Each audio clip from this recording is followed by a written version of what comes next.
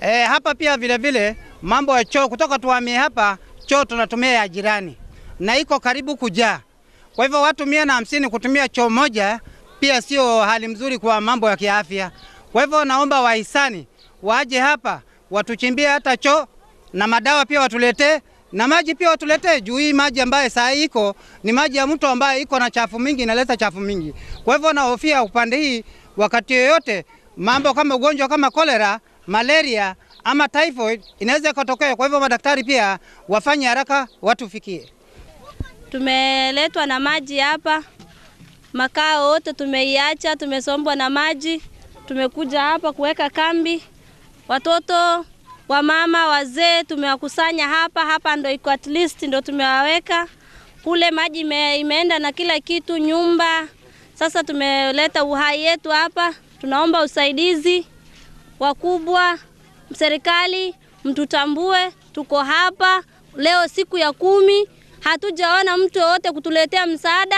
Tunataka msaada as from now, kuanzia sasa. Watoto mnaona vile wanakaa, tuko na shida, tuko na shida. Alhamdulillah, nashukuru hakuna mwenye alienda na maji. Tumetoa uhai yetu, tuko hapa, lakini tuko na shida kwa tumbo.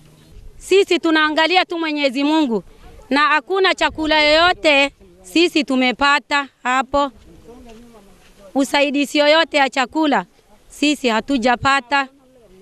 Wengine wako na yatima, wengine viwete, wengine vipofu. Tumeadhirika hivyo, tuko na shida sana. Tunataka serikali kila mali kuadhiriwa na mvua kweli iko, lakini tunasaka msaada, serikali atusaidie. Umbu ndio hiyo, baridi ndio hiyo, njaa ndio hiyo, neti hatuna, chakula hatuna, manyumba hatuna, hema hatuna. Tafadhali tunaomba tusaidiwe, haswa haswa sisi kwa hii kambi kuna na shida ya choo, chakula, maji, neti hatuna, watoto wananyeshewa. Tunaomba tafadhali serikali tuangalilie maslahi yetu, na vile mama mwenzangu alisema, shida ya njaa ndo zaidi hapa, Kukula kwetu ni shida, nyumba ndo hiyo hatuna, mvua inanyesha. Hivyo ndo likuwa tunaomba msaada. hajapata msaada. Sasa tunahamia hapa ndio ajili ya shida. Tuko na watoto, tuko na nyanya, tuko na baba. Baba yetu amekufa na njaa ajili ya hii maji. Tafadhali serikali yetu utusaidie, ama nilie ama ninyamaze. Tafadhali ni sana, serikali yetu atusaidie.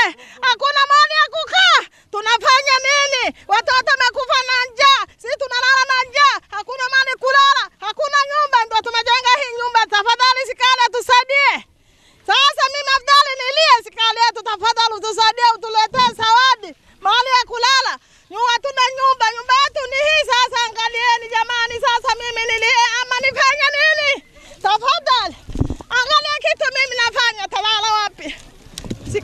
Atusaidie. Shida ni kwamba watoto pia tunao wana njaa.